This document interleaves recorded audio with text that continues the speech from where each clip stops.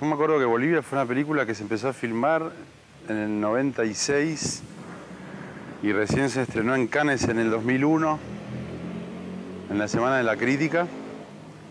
Y, pero, pero yo la Semana de la Crítica la había visto, Bolivia tenía como, todavía le faltaban filmar algunas tomas, todavía le faltaba terminar la película y, y, el haber entrado en la Semana de la Crítica realmente fue como que, que ayudó muchísimo a que Bolivia se terminara. Realmente creo que si no hubiera entrado la película la Semana de la Crítica, no sé cuál hubiera sido el derrotero de Bolivia, honestamente. Eh, y la verdad es que fue como una alegría muy enorme.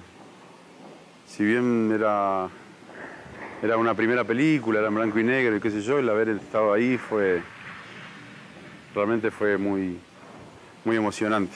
El haber viajado fue todo como muy sorpresivo, fue todo extremadamente sorpresivo.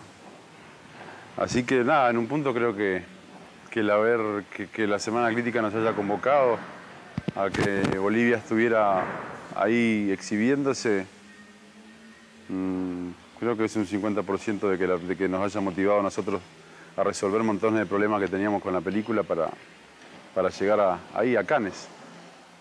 Que, no sé, realmente a veces me pongo, me pongo a pensar y no, no termino de caer y creo que de todas las películas que hice, la película que más tengo presente, por eso, porque era la primera película que, que dirigía en solitario y después la primera película, encima Festival de Cannes, eso fue como, como muy emotivo. Y nos trataron bastante bien, comimos bien, tomábamos bien, buenas, no sé, me acuerdo, no me acuerdo el nombre del director del festival en ese momento, pero era un español muy, muy, muy, nos hicimos muy amigos.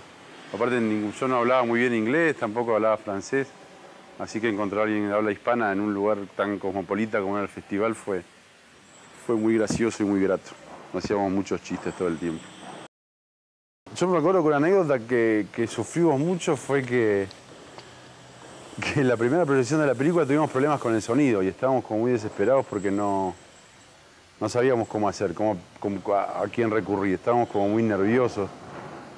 Era la primera vez que se estrenaba una, la peli, se estrenaba en otro país, había un montón de gente en la sala, era muy temprano, si mal no recuerdo eran como las 10 de la mañana y, cuando lo empezaron a exhibir salía mono, me acuerdo, o había un, no, había un, estaba en 5.1 la peli, no, en estéreo. Y, y, empezó a salir por un lado solo y nos, yo nos desesperamos mucho con el productor, que era Matías Mosteirini, y también estaba Juliana Pesteguía, que fue el director de fotografía de la película. Fue un poco entre los tres que armamos la, que armamos la película. Estábamos nosotros tres ahí. Y la verdad es que fue una cosa como nos pusimos muy nerviosos. No nos enojamos ni, ni nada, sino que lo primero que pensamos fue que, que era problema nuestro. Y a partir de ahí como que nos agarró todo un sino de que no nos pudimos sacar. De hecho la anécdota que tengo para contar es esa, que, o sea, la anécdota final de, de, de después de la proyección y la entrega de premios es muy, es muy bonita, pero durante esos 10 días que estuvimos en el festival, que, que pasó eso, no nos podíamos sacar todo el tiempo ese debut, fue como, como debutar en un, en un torneo de fútbol y perder por un error propio. La verdad es que nos quedamos casi como, muy preocupados por eso. Y después, bueno, se arregló, después la segunda proyección, que creo que fue a las 2 de la tarde, ya, ya la cosa funcionó mucho mejor. Pero nos quedó esa anécdota en la cabeza, siempre nos acordamos de Bolivia, nos acordamos de ese momento. Y no nos acordamos si había mucha gente, si aplaudieron o no. Nos quedó eso grabado en la cabeza. Pero nada, creo que lo, que hay de Bolivia son cosas muy lindas para contar. La verdad es que creo que con 10 minutos no nos alcanzaría. Y los agradecimientos para con la gente de la Semana Crítica también no nos alcanzaría con 10 minutos.